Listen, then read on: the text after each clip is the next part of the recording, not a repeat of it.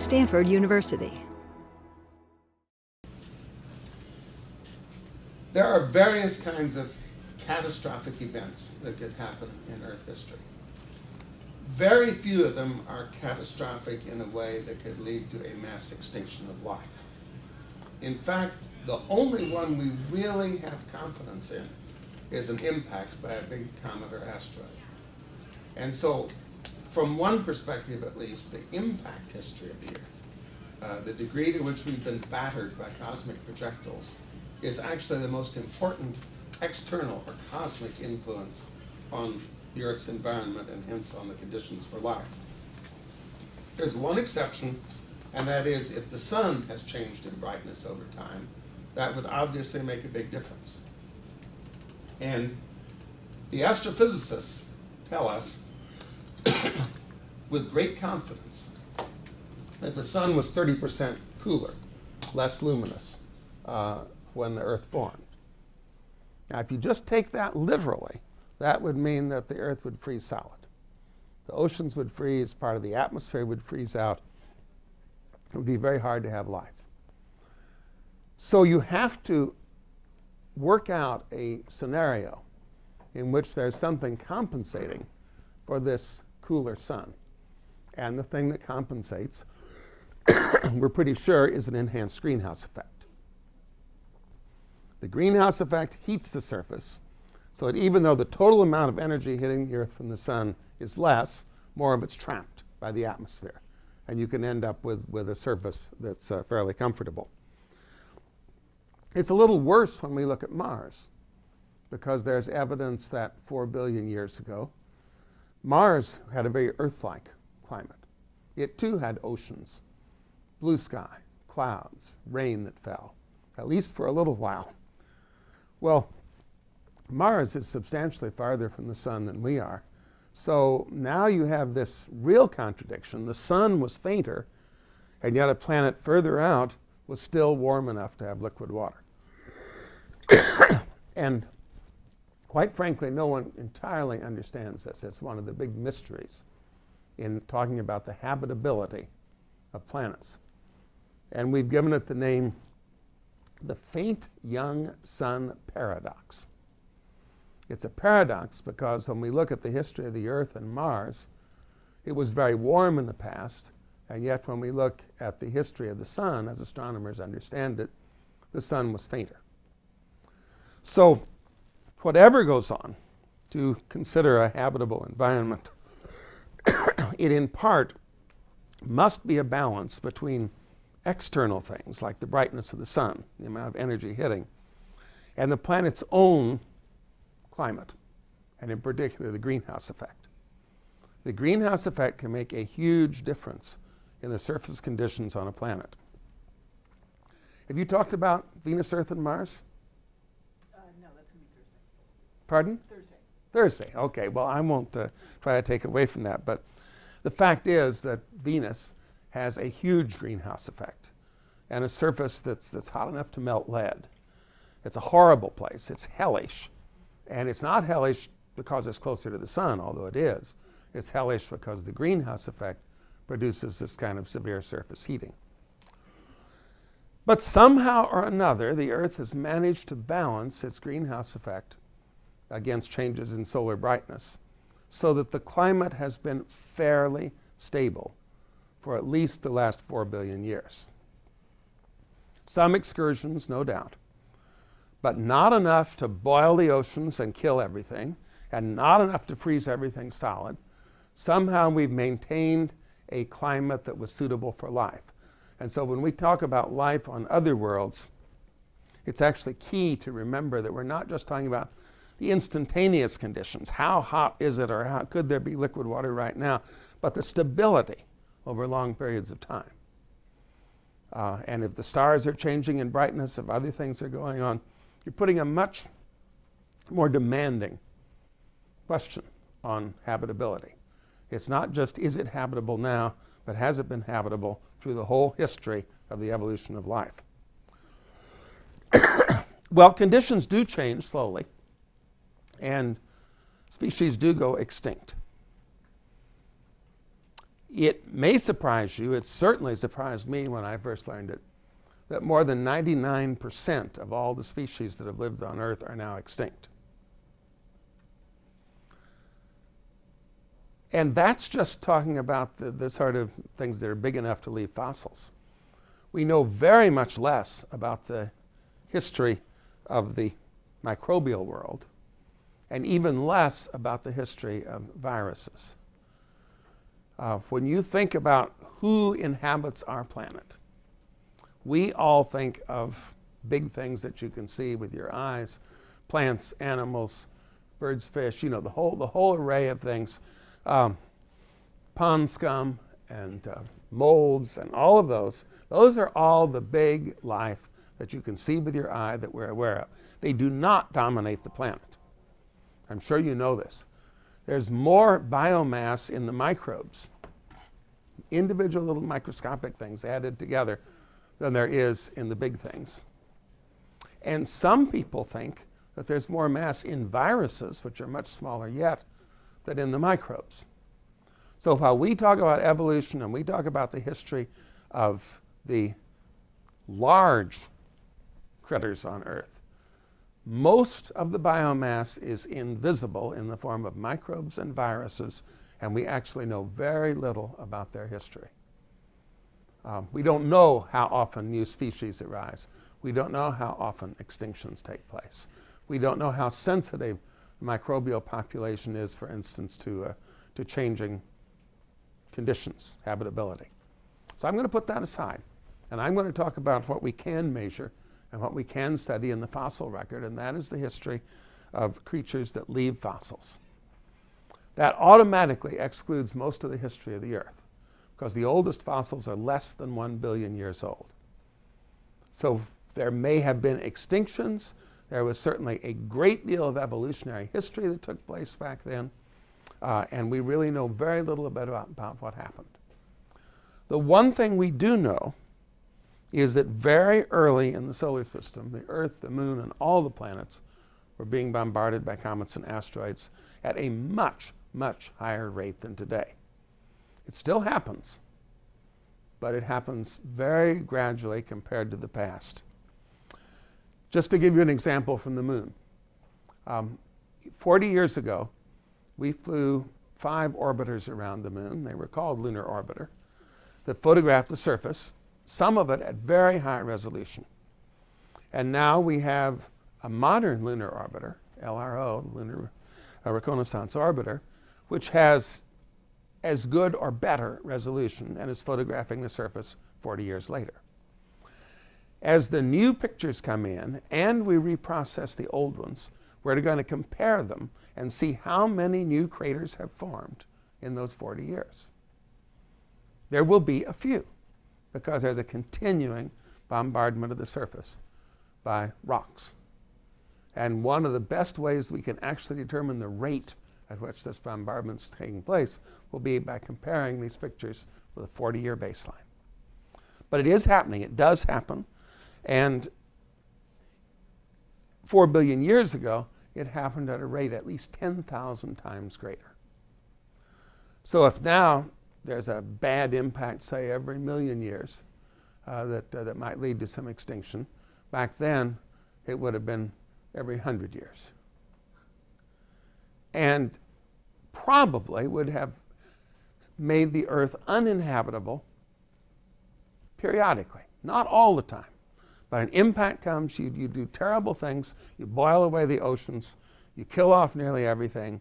In a few centuries, the water goes back into the ocean, starts over. But if, if you're not careful, then there's going to be another one and another one. And the conditions simply weren't suitable for the, uh, the origin of life.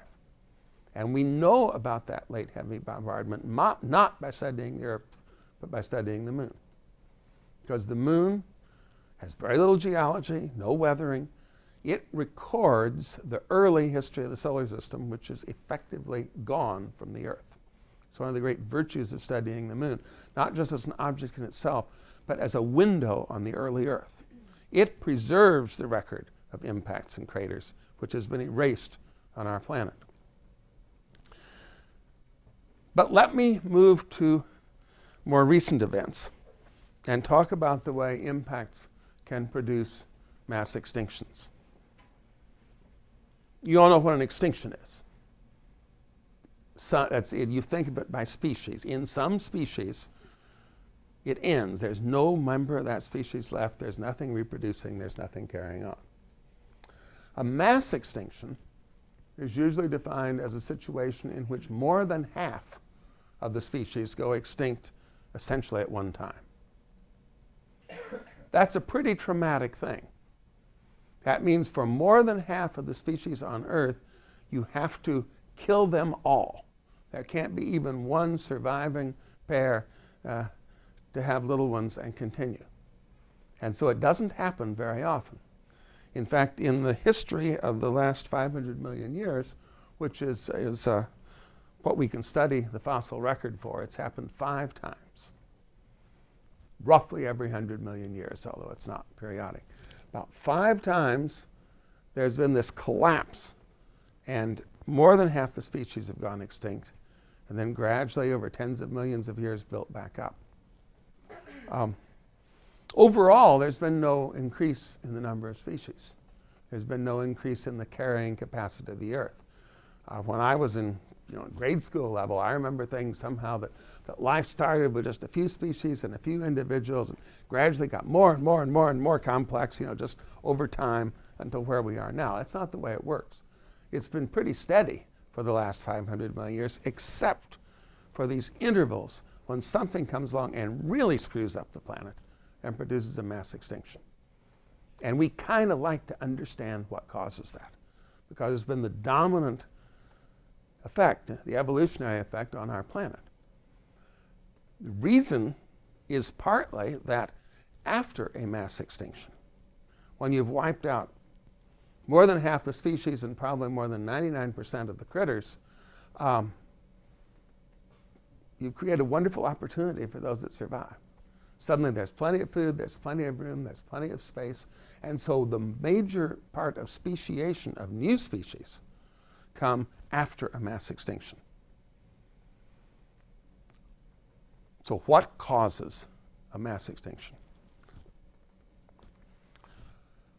The only one of the five that we know is the one I'm sure you've all heard of, the one 65 million years ago that killed the dinosaurs. That's the most recent, the end Cretaceous mass extinction. And uh, it's easy, easiest to study. There are the most fossils, there's the most evidence. But it was still a remarkable discovery, one of the great scientific discoveries of the 20th century, when a scientific team led by the father and son of, of Luis and Walter Alvarez over in Berkeley analyzed the boundary between the, the older material and the new. You know, you're looking at a stratification of rocks. So there are older rocks below. There is a layer about an inch thick that's distinctly different, and then new rocks up above.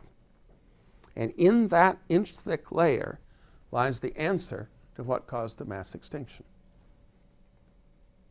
Now, let me, let me explain something that I'm sure is not obvious. Almost all of this work has been done in marine sediments, sediments that were laid down in oceans. We know much less about what happened on the land. But where sediments were laid down in oceans or even in lakes, uh, they're preserved, you got a nice layer, and best of all, you have lots and lots and lots of fossils. Fossils of the microscopic creatures that make up the, uh, the plankton in the ocean.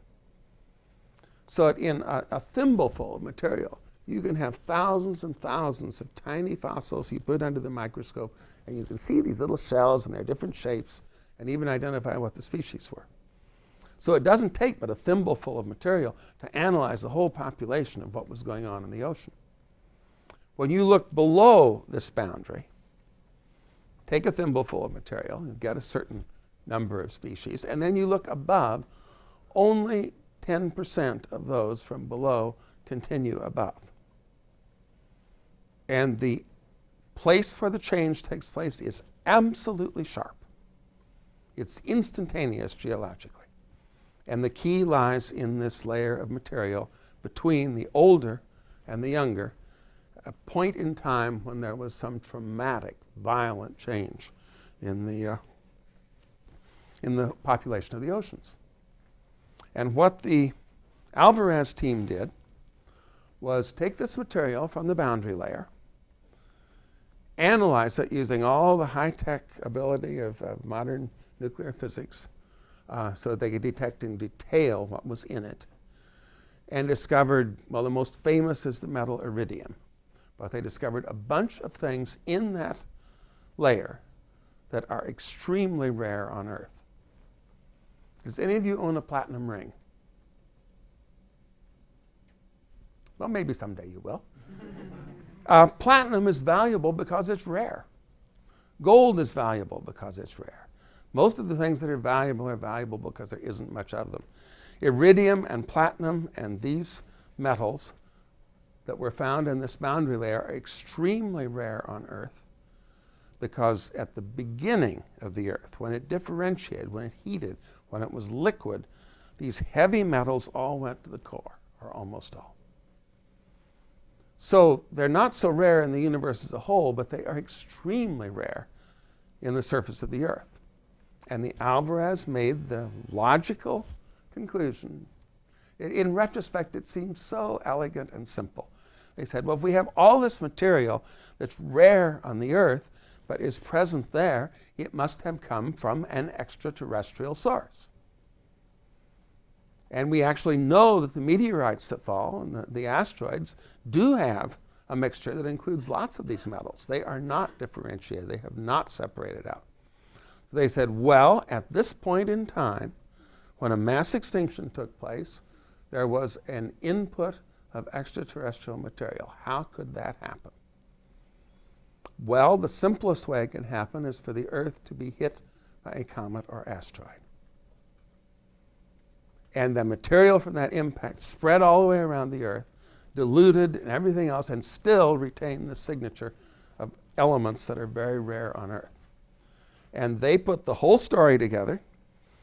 They discovered the, the composition of this layer. They discovered that it was made of rare materials. They knew that those materials were common in space, just not on Earth. And they said, all it would take is a single rock, meteorite, asteroid, whatever you want to call it, about 15 kilometers in diameter hitting the Earth, and it could bring in all this material. And what would happen if something 15 kilometers across hit the Earth? We're talking about something about the, the size of, uh, of the bay. Um, it would make a crater. It would make a very big crater, in fact.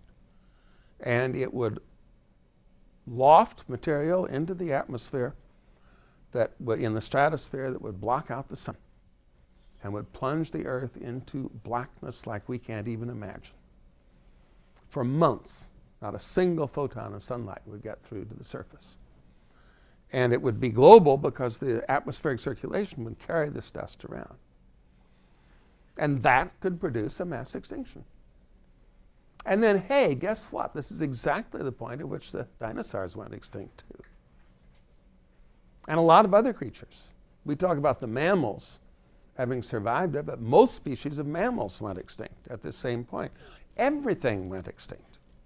Uh, most plants went extinct.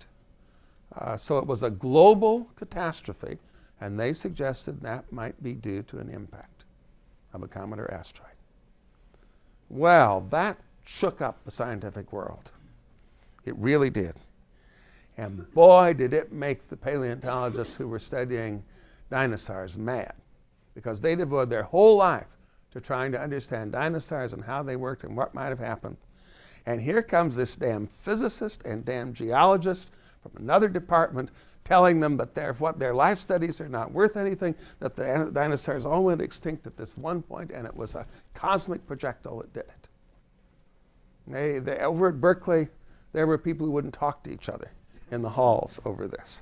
Uh, and in fact, there are still a few old timers who just kind of turn red and, and, and their jaw muscles tighten at the very mention of, of this because it was a case of people coming from another discipline, from outside, a geologist and a physicist, overturning the basic dogma of what had happened to the dinosaurs.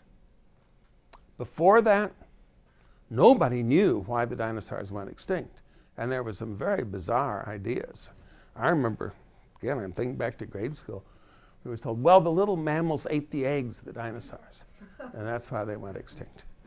Uh, there's a wonderful Larson cartoon that shows three dinosaurs smoking, and the thing said, what really made the dinosaurs go extinct? Um, you know, but they, they really, uh, someone looked up, there were like 40 different suggestions the scientists had made as to what that caused the dinosaurs to go extinct, and none of them had included a cosmic projectile. So it took a while uh, for this to be accepted. As I said, there are a few old timers that still don't accept it. There's a former director of the paleontology lab at, at Berkeley who still, uh, who still, you don't want to bring up the subject with him, let's put it that way. Um, perfectly nice guy otherwise. Um, but how could you verify this? How could you verify this theory? Well, the first thing is that if, this, if it happened the way they said, this deposit of extraterrestrial dust must be global. They had looked at only one place rocks from Gubbio, Italy, a beautiful little hill town. Uh, they still go back there and have a meeting every summer because it's such a nice place to have a meeting.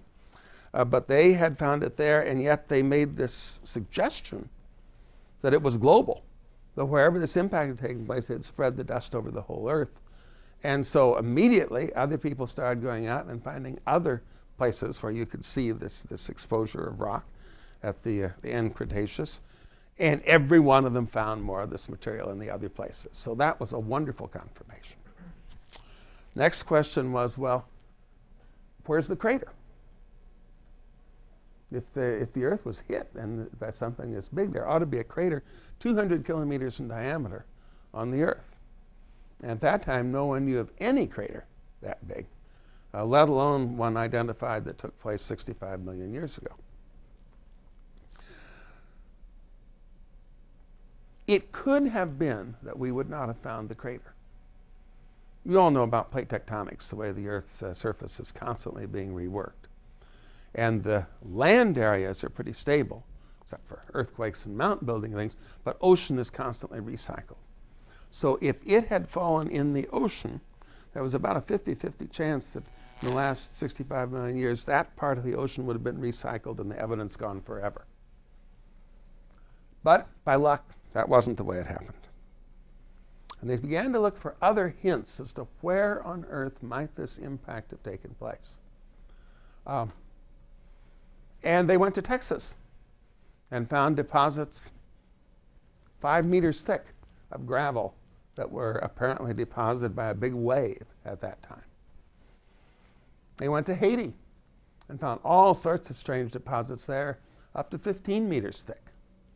Not just a little thin thing an inch across that was at the boundary layer in Gubbio, Italy. Um, so they began to probe around the Caribbean. Could it have happened in the Caribbean? The worst, the worst actual physical damage from the impact seemed to be there.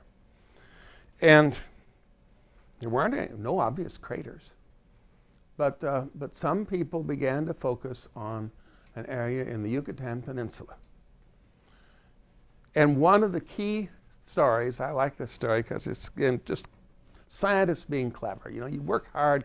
Most of the time you don't make discoveries. Most of the time it's not clever, but sometimes something really works. How many of you have been to the, uh, the Mayan sites in the Yucatan? Good. Do you remember the cenote? The cenote are these, uh, these, I won't say wells, these big ponds that are in the limestone where there's water. And they tended to build their cities near cenote because of the access of water. You could lower a bucket in and get it out. And someone here at Ames, looking at, uh, at photographs, noticed that the cenote, are, first of all, he noticed simply the old Mayan sites, clustered in an arc across the Yucatan. There were not many outside, there were not many in, but there was an arc. and concluded that could be the rim of the crater. Because you get a weakening when there's a crater and subsequent collapse, and that would be the kind of location where you might, millions of years later, form the cenote, and that was right. Eventually, they found that it had landed just right on the boundary between the land and the sea in the Yucatan at a little village with a Mayan name of Chicxulub. And so it's called the Chicxulub crater. Easier to pronounce than to spell. And uh, it's about 200 kilometers in diameter. There's hardly anything left on the surface because over 65 million years, it's been under in the ocean most of the time, and it's had thousands of feet of limestone deposited on top of it. But you can drill down and find the place where the impact took place, the melted rock, the broken material, and the whole thing. And that confirmed it. Made it absolutely clear that this impact had really taken place. We knew where it had hit. We knew how big the crater was. Therefore, we knew approximately how big the projectile was. And uh, we knew it had led to a profound change in the population of life on Earth. One thing that came out of the subsequent work was that the dinosaurs were doing just fine. They were not in decline. It wasn't as though things were changing and most were dying and the rest were under stress and therefore just a little push had them over the edge. They were doing fine. There were about 40 species of dinosaurs then. We say they ruled the world. I'm not sure what that means, but they were certainly the biggest things around. The T-Rex is, you know, a prime example. And yet, in an instant, in an afternoon, they were all killed without warning, without doing anything bad to deserve it. Uh, and that kind of shakes people up when you think about it that something external from outside, without warning, without anything else, could come along and do a terrible, terrible damage to the habitability of the earth, at least temporarily. The actual thing that caused the extinction, we now think we understand pretty well. It wasn't just the blast. The explosion, the crater, the rocks thrown around would have killed anything within several thousand kilometers. Uh, but this was an extinction that affected the whole Earth. So, what was there that could go beyond that and produce a global catastrophe? And there are two things. We aren't sure the balance between them. But first is the crater itself, the forming this crater 1,000 kilometers across and 35 kilometers deep. You excavate an incredible amount of material pulverized rock, and you throw it completely out of the atmosphere, but it doesn't have escape velocity. It can't escape from the Earth. So after a while, it starts falling back down and re enters the atmosphere. And all the energy that was originally in the explosion and went up above is released as heat when it comes back into the atmosphere. This is a meteor shower like you can't imagine. A meteor shower that if you were standing there looking at it, you would go blind instantly just from the heat of this re entering material. So it produced a global firestorm. Forests, grasslands burst into flame all over the world. Um, didn't affect the oceans, of course, but anything on land was in bad trouble, even if it was on the other side of the earth. And then that same material, part of it remaining in the stratosphere, blocks the incoming sunlight. And so it gets cold, photosynthesis stops, and now you have the tragedy for the, the ocean. The ocean didn't care about this brief, brief flash of heat, but once you've stopped photosynthesis and the, and the uh, ocean food system collapses, that would be what would have produced the mass extinction that you saw originally in, in the little uh, critters in the ocean. Uh, it all happened together. It happened without warning, and it changed the population of the earth. One easy thing to say is if that hadn't happened, we would not be here. Our ancestors, the early mammals, have been around for tens of millions of years, and frankly, we're not doing real well. compared to dinosaurs. They got eaten a lot. Uh, they, they hid in holes and scurried around on the ground. They were about the size, you know, of a, of a hamster or a, uh, or a rat or a mouse. Uh, and yet, they gave rise to all the mammals on Earth, including us. That would never have happened if the dinosaurs hadn't been wiped out. The kind of trees we have now, the beautiful trees of our forests, probably would never have evolved if it hadn't been that the old forests were killed. Uh, so here you have this, this new speciation happening after the impact catastrophe. And uh, I shouldn't say we wouldn't be here, because the fact is that uh, we might be. We might be having this class. It would be in a different shaped room. The chairs would be built differently. We would be dinosaurs. There's nothing to say that dinosaurs, given another 65 million years, might not have evolved just as much intelligence as we have. Like if you go see a movie like Jurassic Park, you may think they were already pretty close then. Uh, so I'm not even going to tell you it was a change for the better. Maybe the smart dinosaurs would have been better for the planet than smart people. But at any rate, it really did make a difference. And it's changed your perspective on some of the dynamics of evolution. Let me put it this way you all know what Darwinian evolution is, right? Everybody's heard of the survival of the fittest. That's kind of a catchphrase, but, but what it implies is that there's constant competition for resources, that any creature that has some advantage, some genetic advantage over others, is more likely to reproduce. And you're talking about a very gradual change over time millions, tens of millions of years. And, you know, we always say that the cheetah will run faster and the giraffe will have a long neck so it can reach the, uh, the, uh, the leaves up above and things like this. It's a gradual competition, gradual change. And you can see the kind of things that an animal that ran faster or was taller or was resistant to disease or was smarter or whatever would eventually have an advantage. That made no difference in surviving the impact. So, what if you ran fast? You couldn't run away from it. So, what if you had a long neck for, for eating uh, uh, the uh, leaves on trees if all the trees were gone? Uh, it changed the rules. And all the evolutionary progress, if you want to think of it that way, the evolutionary change, the slow things that had been happening, it was like pushing, pushing reset on your computer. You started over.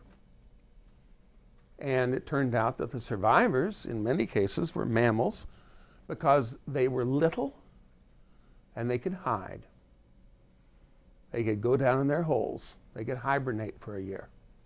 If you were big, you did not survive. On the whole earth, no animal much bigger than a cat survived that impact. And so it wasn't the smart ones. It wasn't the ones that could run fast. It wasn't any of those things. It was the ones that were small and could hide in a hole. And uh, it's kind of sobering to think that uh, we think we know what makes fitness, what makes us fit, what makes animals fit, but we have to recognize that occasionally the rules change. And it's still Darwinian, it's still survival of the fittest. There's no change in that. But the rules change because survival now is in a completely different environment, a post Holocaust environment, rather than the sort of standard thing that, uh, that people have been, that, that creatures have been living in. So, let me stop a moment and ask for questions. When am I supposed to stop, Lynn? Oh, about o'clock. Yeah. So, what questions can I answer about the Cretaceous mass extinction. Yeah. I'm curious then, so you're saying like mammals were only about the size of really survived the initial impact and everything, but since most of Earth's forests were destroyed and everything, I'm, I'm guessing how did they get resources? They What was left for them to eat? Well, there was lots of dead dinosaur meaty, meat. but what happened with the plants was that the plants that survived were those that had hard seed cases and could lie fallow for a year until the dust fell out and rain started falling again. And so it wasn't that there were no forests afterwards. It's just that they were made of the plants that were able to survive a year or a fire or whatever. And we still have them. When, you, when a, after a forest fire, the composition of the forest changes, and a bunch of whole new things come up because they're the seeds that were able to survive the fire. In fact, there are a certain number of seeds that need some of the chemicals released by Mhm. fire in order to germinate. Mhm. It's, it's part of nature's backup system for forests because there are fires that come along and you, you want to have something that will, uh, will cause the forest to regenerate itself. I mean, I'm talking anthropogenically, that's not right, but that is the way it works. Yeah. Um, what sizes of animals would have been in like the water systems? Ah. The, it, we don't understand the water system as well. Uh, clearly, the water provided protection. And one of the largest critters that, that survived actually were the ancient crocodilians, the crocodiles and, and, uh, and alligators, which probably could go underwater in the mud and manage to survive that way. In the oceans, uh, the ones that survived best were the scavengers. Sharks loved it. There was plenty for them to eat. The bottom feeders, you know, a lot of a lot of uh, animals in the ocean survived. Um, but if they depended on zooplankton, if they depended on a continuing diet of, of diatoms that depended on, on photosynthesis, they were in trouble. It's, a, it's an interesting subject, and I don't mean that to have all the answers at all. One of the best ways you can study the environmental effect of the impact is to study the pattern of extinction and survival. And for each one that survived, you say, why did that survive? What, what did it have that allowed it to survive over its neighbors? And there's always just an element of luck. You know, we were talking about uh, one of the best strategies for survival is to have lots of. If, an, a- if a species is, I mean, cockroaches are a beautiful example. Cockroaches did just fine because there are cockroaches everywhere. And you can kill off 99% of them, and there's still enough cockroaches to take over the world. You know, it's, uh, it's creatures like that that are very good survivors. But it's partly just by sheer numbers, by being distributed over a lot of space. Yeah. So on to, I guess, the next topic, but when succession started to reoccur, wasn't there some residual effects from that just clim- in climate and uh, what was We don't know. happening that We don't know. would have resulted in more competition? We don't know. That, that, that's another very interesting research question. We kind of know what happened in the first year or two after the impact. And some say that there was a rebound, that, uh, that the temperatures went up again because of more CO2. I don't think we know what, oh, by, by, on the million year time scale, everything stabilized back.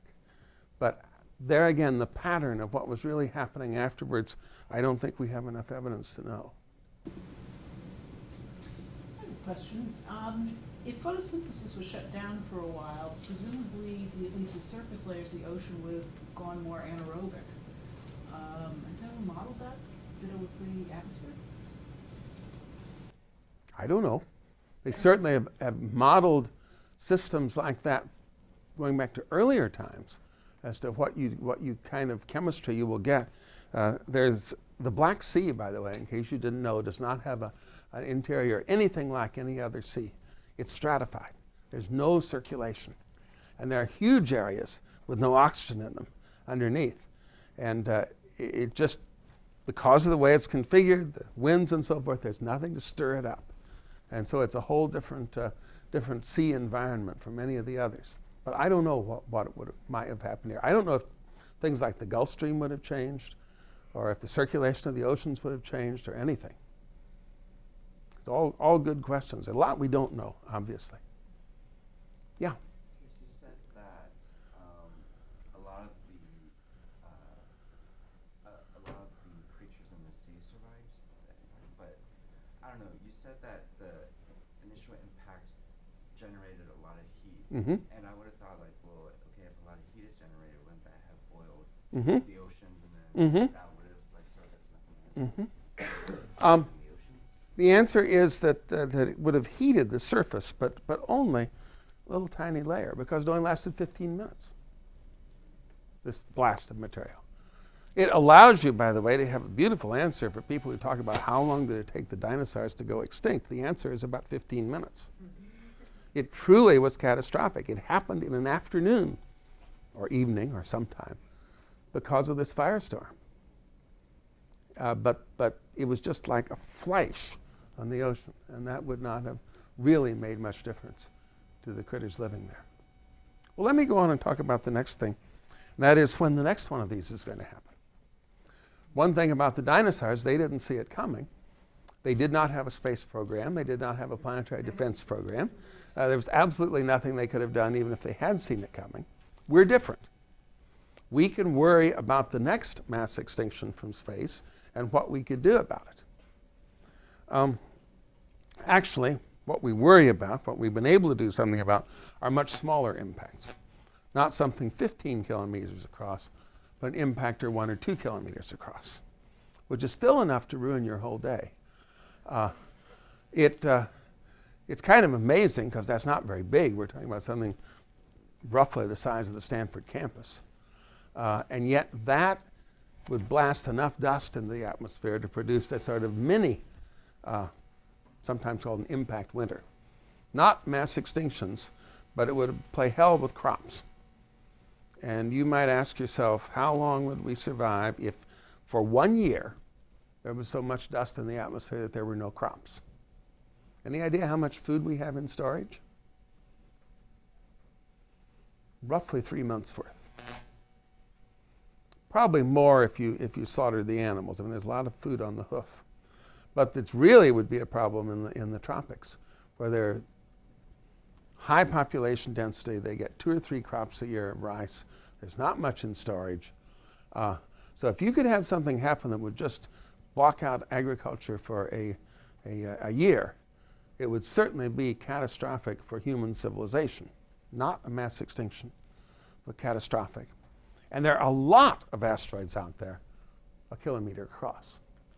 So what I and a few other people started back in 1989, before almost any of you were born, was to estimate the frequency with which the Earth is hit by these objects and ask if we could do anything about it. Actually, we asked the question first, and then it came back formally. The US Congress asked NASA to study the issue of whether this was a contemporary risk and how important was it and, uh, and what could we do about it. And I chaired that first NASA study. Um, let me pass these out. I want you to look at, uh, at this graph. Pass them around. And this is what we sometimes call a notional graph. It's, uh, it's not real data plotted. It's uh, approximations and it's used to get a general idea of how often we're hit by objects of different size. Uh, and you notice, first of all, I haven't listed the sizes. What's listed across the bottom is the energy. The energy in megatons, the unit we use for nuclear bombs. Millions of tons of TNT. And then on the left, the average frequency with which something like that hits the Earth. So let's start with the, uh, the Cretaceous extinction. I didn't tell you this, but you can estimate it was 100 million megatons of energy. And uh, according to this, it's marked KT down here, It's because Cretaceous is spelled with a K instead of a C in German, a little bit of esoteria. Uh, that's roughly once every 100 million years. Not, not regularly, not periodic, but roughly. Um, this thing marked Tunguska. I'm sure many of you at least have heard about the impact that took place on June 30th, uh, 1908 in Siberia on the Tunguska River. That's the only thing we've witnessed of a big atmospheric explosion uh, roughly 10 megatons. It was about the size of our, our city killer nuclear bombs that we have on our warheads. Uh, happened in the wilderness, so nobody was killed. Um, that should happen once every few centuries on Earth, on average. Um, and and you know, we, we did quite a bit of studies to fill this in. The one on the upper right is interesting. That's something as big as the atom bomb dropped on Hiroshima. And when my colleague Clark Chapman and I first calculated this thing in 1990, we said, wait a minute. According to this, something the size of the Hiroshima bomb must hit the Earth every year. And that led to something that research scientists often experience called an oh shit moment. I did something wrong. That's counterintuitive. If the Earth had an impact the size of Hiroshima every year, uh, wouldn't we know about it? Wouldn't everybody know about it? Wouldn't it be in the newspapers? And so you think, oh gosh, I must have done a badly wrong calculation or something. Until we thought about it some more and realized that that size impactor never makes it to the surface. It actually explodes very high in the atmosphere. So it does no harm. And therefore, you don't read about it in the newspapers. But we still ask ourselves, well, look, is there any way we can verify this? And it turned out there was. This was just after the end of the Cold War. The Soviet Union had ceased to exist. The military were a little more open with things. And they have the Earth surrounded with surveillance satellites that are constantly looking down to detect clandestine nuclear explosions, rocket launches, whatever. All highly classified, of course. But uh, if there were these explosions taking place in the outer atmosphere, they should see them. We on the ground might not notice them, but these down looking systems that are scanning the whole Earth should. And uh, we had a couple of friends in the Pentagon. One of them, Pete Worden, the current director of Ames Research Center, and Lynn and my boss. And um, they decided to give us some access to that information. Several of us went off to uh, Falcon Air Force Base outside Colorado Springs, the headquarters for the Space Command. Fancy place. Barbed wire, dogs, guards, everything around it. Uh, and in here are all these, these people and computers and data systems. And so we talked to the people that actually monitored the explosions that they saw. And I mean, simplified dialogue was Do you ever see any single unexpected explosions in the atmosphere? Answer yes. Well, do you know what they are? Sure, they're meteors. We've known about this for 20 years. In fact, they built their software to discriminate against it because they were looking for bombs and nuclear attacks and not for meteors. But we got enough information out of that to verify this that something about the size of Hiroshima hits the Earth's atmosphere roughly once a year. So, what a plot like this does is tell you how big a problem is it. We calculate this global catastrophe number as being an impact that was just large enough to produce this sort of mini nuclear winter thing. And uh, that was turned out to be the greatest danger because the whole Earth was at risk. A smaller one could wipe out a city, but only at that size and larger could you uh, affect the whole planet. And we worked that out in the early 1990s, and we said that size, a kilometer or larger, is detectable by our telescopes. And we proposed a Space Guard survey of telescopes to catalog those objects, to discover them and catalog them. Not just discover them at the last minute as they're coming in on Earth, but to actually find them decades in advance. Because anything that's going to hit us will come by over and over and over, repeatedly near the Earth, because their orbits just intersect and cross the orbit of the Earth. And in 1998, we got NASA to agree to start this survey with a budget of $4 million a year. And it's gone for the last 12 years. And the new budget that just came out this week from NASA increases that from 4 to 20 million. The first time NASA has ever acknowledged that this was a serious issue worth doing something about. We've been operating on a shoestring. In fact, one of the statements that I made long ago that is frequently quoted is that the total number of people on planet Earth wor- working to protect us from an impact is equivalent to about one shift of McDonald's restaurant. We're going to be able to go up to four shifts at a McDonald's restaurant with this kind of money. Um, and so the other side shows you our progress. There are two curves plotted here. Uh, the lower one, the light colored one, is the asteroids larger than one kilometer. And the other one is all the asteroids that are seen, near Earth asteroids. So that includes smaller ones as well. Um, the goal was to find 90% of those larger than one kilometer by the end of 2008. We found 80%, which is still pretty good. We found about 800. And you might ask, none of you is, but I'm going to pretend at least that some of you are asking yourself, how the heck do you know when you found 80% or 90%? How do you know what you haven't found? How do you judge the progress of a survey like this? And it's kind of neat what you do. Imagine that you start out on day one. You build your telescopes, you start the survey, you don't know anything about the asteroids up there, and you start discovering them. Each one you discover will be new, right? You haven't done the survey before. Flash forward eight years later, you're still doing the same exact kind of survey with the same telescopes, but now you find that 80% of them that you see are old ones that you're rediscovering, not new ones. That tells you you're 80% done. As it, and it, it's as though the thing becomes less and less efficient. You've already found so many that there aren't very many left to find. And that's how we know where we are in this survey. For the smaller one, and, and by the way, you can also tell it from the way this, this rolls over. The rate of increase rolls over as you get more nearly complete.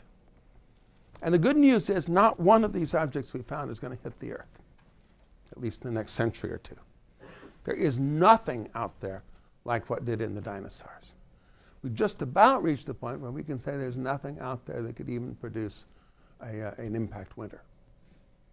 Um, there are still plenty of things big enough to wipe out a city, but as far as the Earth as a planet is concerned, there is no significant danger from undiscovered objects.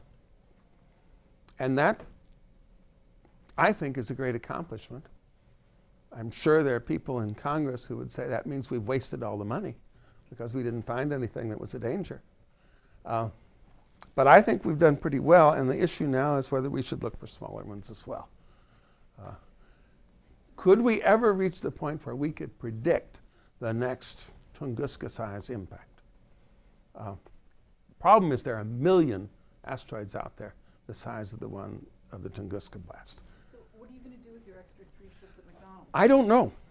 I don't know. I, I didn't ask for it per, exactly. It's an awkward number. It's not enough to build the next generation of big telescope. But we don't need just more of the little telescopes we have now. But I bet we'll think of something to do with it. yes, right. Yeah. So you talk about um, like these asteroids circling the Earth multiple times now. Is there ever a, like the issue of like something just coming out of left field and completely like destroying everything we've done? Mm-hmm. Uh, we're talking about statistics, really. Uh, we'll never be sure we found the last one. We'll never be sure there might not be one in a really peculiar orbit that doesn't come by very often. Um, so you improve your odds, but you can never be 100% sure. And you can never protect against the, the odd comet coming from deep space with no warning at all. So we've reduced the risk. We haven't put it to zero. Even at the level of that odd comet, it's still possible that something could hit the Earth and produce a mass extinction. Yeah. How much warning do you think we'd have for that odd comet? A couple years. Because you don't see them until they come in the inner solar system. Whereas the asteroids that live in the inner solar system, you have chances every year to pick them up. Is there any evidence of that having happened earlier in Earth's history? Of what having happened? of a extra um, solar, a comet from outside of the solar system. Well, I told you that there were five mass extinctions, and only one has been identified clearly as an impact, the one that did in the dinosaurs. And that's from just the last 500 million years. We know nothing about what happened earlier. So it seems likely that it would have happened. But you know, you, you as you work back in time, you recede into the place where there aren't any data. That's one reason we study the moon is to help us figure out what happened in the early history of the Earth. So I could, you know, estimate how likely it is, uh, but I can't tell you one way or another. Yeah. Whichever, both of you. Okay. Uh, well, you, you made the division between the large NEAs and all with at one kilometer diameter. And I was curious, where does that sort of fall in this graph? where it says global catastrophe. Mhm. We first of all wanted to find all of them were big enough to produce a global catastrophe. And then you begin to worry about those that might just wipe out a country. So for the yearly Hiroshima-sized ones you said they detect, do you know roughly what those diameters are? For? Uh, yes, they're, they're uh, about, um, oh, Hiroshima. Uh, yeah, about three meters. Really small. Yeah. Yes. Um, so what about the chances for a near uh, near Earth object uh, asteroid to I don't know like dip below our satellite level and you know perhaps cause some chaos with our commu- Well, we'll find out on, uh, April, on Friday, April 13th, 2029, when a quite substantial asteroid called Apophis, 300 meters long, will do just that. It'll come so close it'll be inside the, uh, the, uh, the ring of communication satellites. It'll be easily visible to the naked eye going across the sky. It will be the biggest thing that's ever come that close since astronomers started. But fortunately, it won't hit. Yeah. So how close is close? Because I'm seeing like missed distances of like 20 miles, like every day, basically in all these near Earth objects. But like, how close does it have to be before? You know, it either misses or it hits. Uh, and uh, But at what point do you start getting worried, based on like the calculated distance? well, you know, what it depends, of course, is the uncertainty in that calculation. When we first found Apophis, I knew it was coming close to the Earth in 2029. The initial orbits were uncertain enough that we thought it might hit. It was a big deal. For about a day and a half, those first calculations made it look like it had a one chance in 20 of hitting the Earth. And we were faced with the question of whether we should call the press or what we should do because we wanted more data. We wanted to check it. And uh, indeed, new data came in a couple days later and we were sure it would miss. But when you first calculate an orbit, it's very uncertain. As you get more and more observations, the orbit becomes more certain. uh, what about Apophis' second approach in 2036, at least the one I've heard of? Oh, yeah, yeah, yeah. It's much more interesting. Um, the uh, Apophis comes so close in 2029 that the gravity of the Earth really changes its orbit. In fact, it goes from an orbit being primarily inside the Earth's orbit to an orbit primarily on the outside. Basically, it's getting energy from the Earth and changing its orbit. And we don't know what orbit it will end up with after that. And one of them would allow it to come back seven years later and hit the Earth. Because you have to know with extreme precision how close it's coming to the Earth in 2029 to calculate its, sub, its post-encounter orbit and see if it's coming back.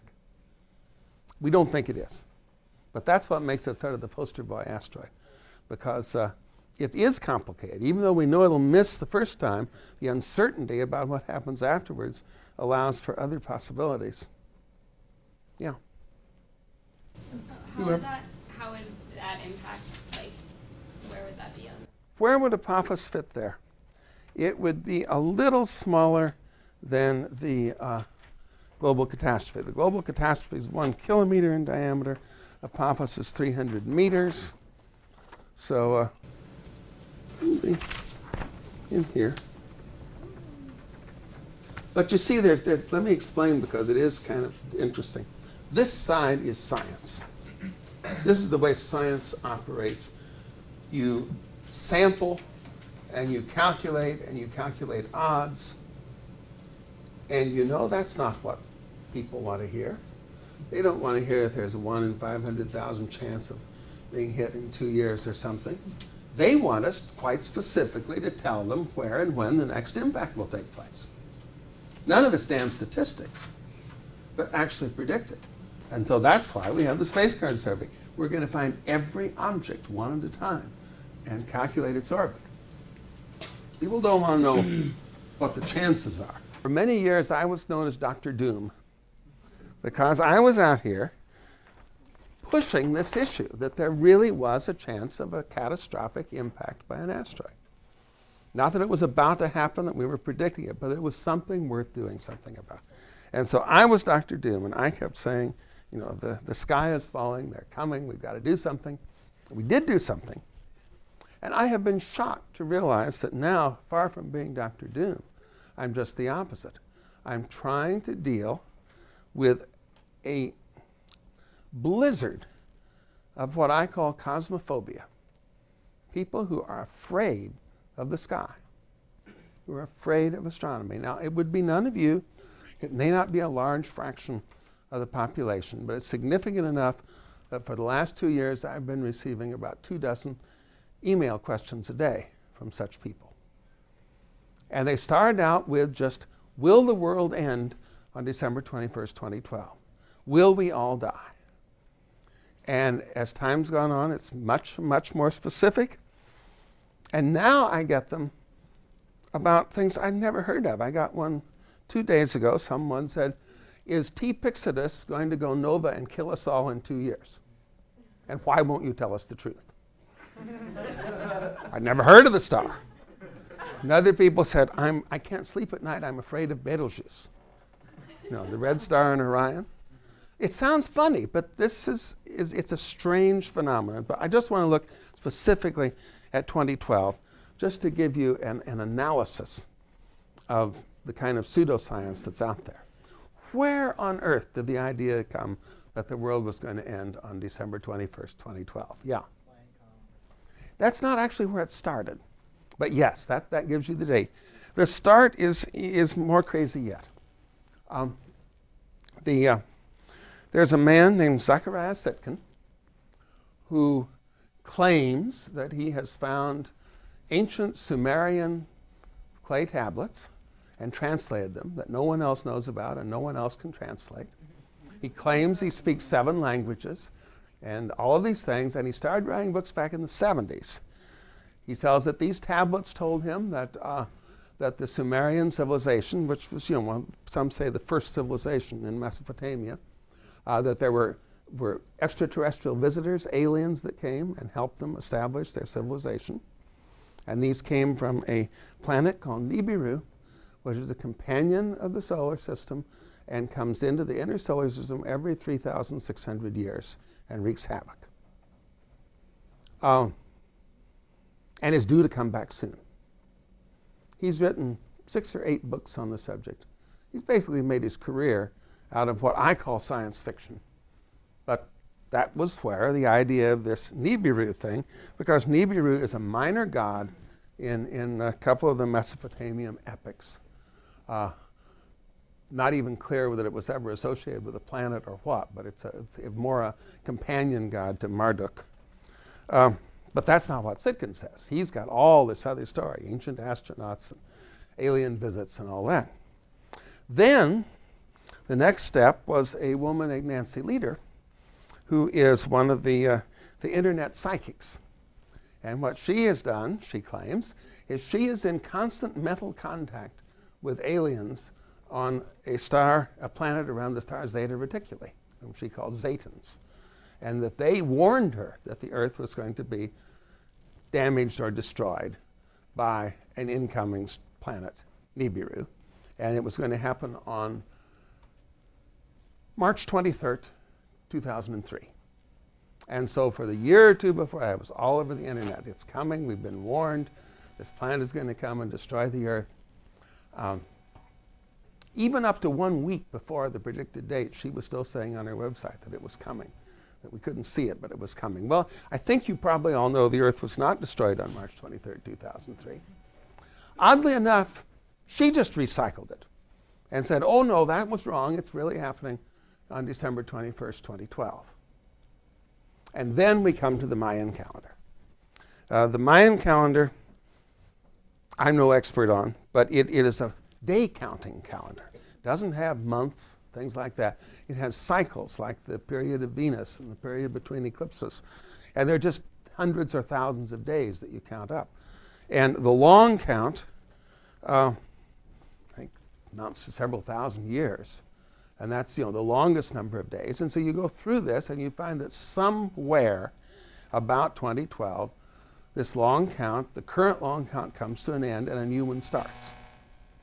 It's happened before. It's, it's uh, I mean, it's just like your desk calendar. My desk calendar ends on December 31st of 2010, but I don't think that's the end of the world. I think the next calendar will start the day after. The Mayans said nothing about this being the end of the world. It was just the end of a block of time the way they calculated. It. But what people did was put together these three things. Nancy Lieder's warning from the aliens around the star Zeta Reticuli, Zecharia Sitchin's fake translation of uh, Sumerian documents, and the end of the Mayan long count, and says those all are happening on, in December 2012, and that will be the end of the world. And then it goes on. They find it elsewhere. They say it's in the Bible. That's what the Bible describes as the end of the world. It's in the I Ching. Uh, Nostradamus predicted it. Um, this is, of course, a completely non scientific attitude because these people believe that the ancients could predict something like a planet going to come and hit the Earth. And a lot of my questions are that way. It's really hard to answer. Somebody says, but the Mayan calendar was the most precise calendar humans have ever calculated. How can you, why would you question uh, their prediction that the world would end now? Well, you know, to me, calendars don't predict anything except keep, keeping track of days. Um, and, but, but they claim that all of these things, the Bible, Nostradamus, the I Ching, the Mayans, I don't know what else, are all converge on December 21st, 2012 as being the end of the world. And a lot of what's still going on is Nibiru, this planet. It is quite remarkable, the stories about it. It's said to have been hiding behind the sun for the last three years, so that astronomers couldn't see it. I don't know if any of you have thought about orbits, but you can't, as the Earth goes around the sun, you can't have something else constantly staying on the back of it. How do we know this? Because you can photograph it. And I will challenge any of you, you must all have cell phone uh, cameras. Too late today, but on the next sunny day, go out and point the camera at the sun and take a picture.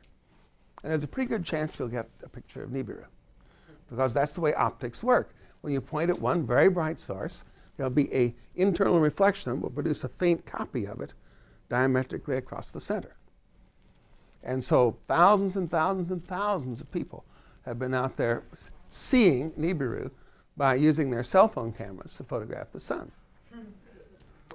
Um, at the same time, apparently as no contradiction, they say it's visible in the night sky. And this last summer, it was the brightest thing in the night sky. And the uh, and I mean, people said things like, in my neighborhood, a number of people are out with their telescopes tonight looking at Nibiru. Well, it was Jupiter they were looking at. Uh, but it's a, it's a very interesting mindset for both the people with the cell phone cameras and the telescope that they think they can see something in the sky easily, something bright that 100,000 astronomers have missed. Now, a lot of it, of course, is accusations of, of government cover up. It's all part of the big conspiracy theory.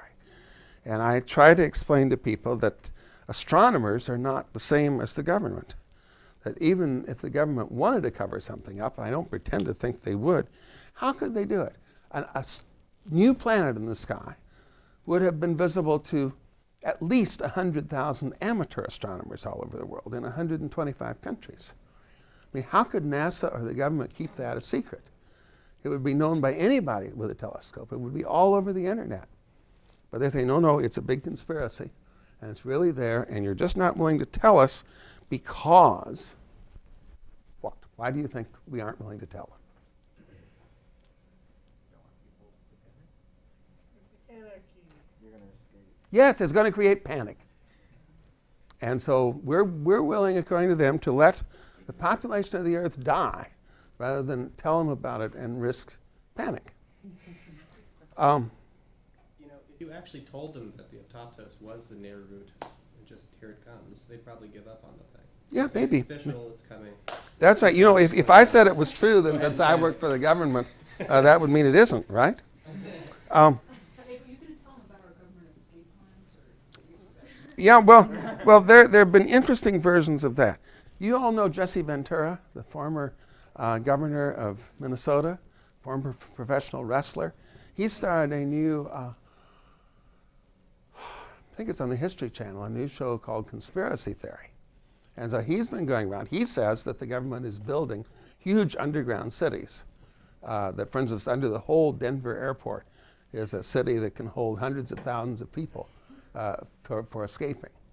And of course, they see it on TV, and if it's on TV, it must be true. Um, and the fact that these things are not being written up in the regular newspapers and CBS News just means it's part of the conspiracy. Um,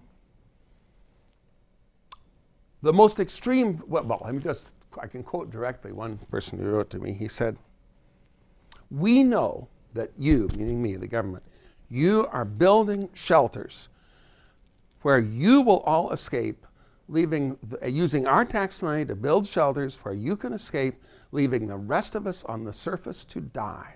May you rot in the hell you have made for yourself. Makes you feel good to get an email message like that. Um, and then I, have told you this cosmophobia, it gets transferred to all these other things. Another part of the phenomenon is a so called alignment. The claim is that the planets will all be aligned on December 21st, 2012. Now, it's real easy to check that if you have any of these software programs that, you know, that calculates where planets are. There's no sort of alignment at all.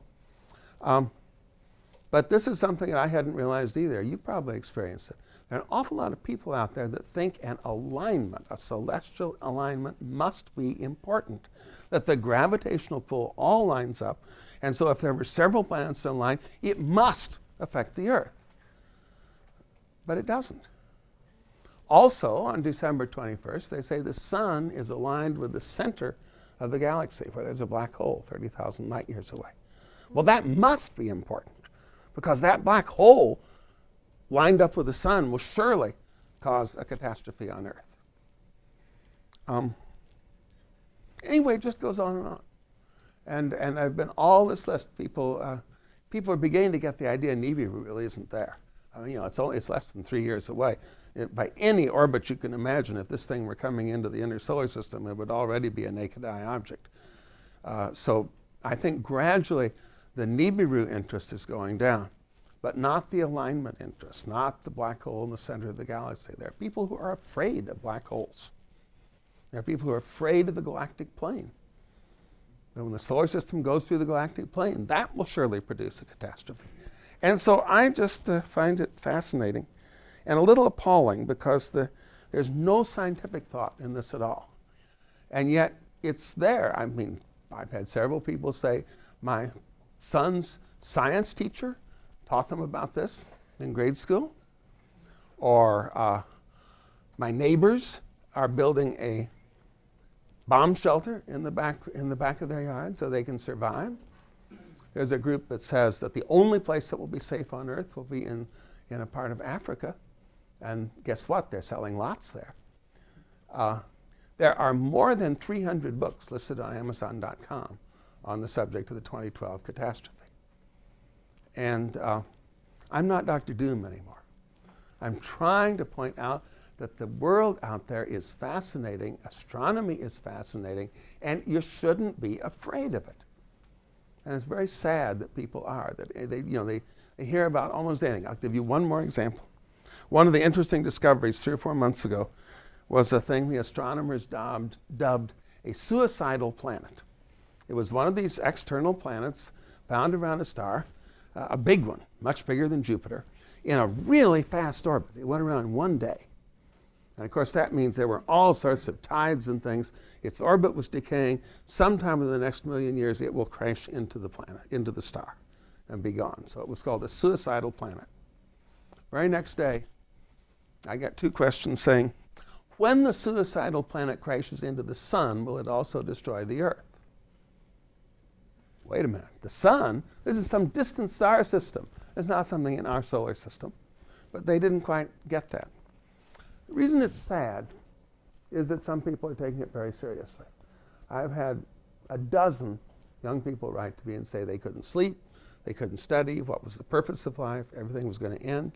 I've had three teenagers say they were planning suicide before it happened because they didn't want to be here for the end of the world.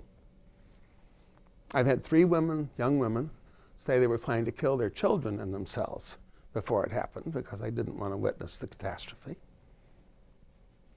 I had one sort of sad letter. This is what it said. It said, I'm so frightened.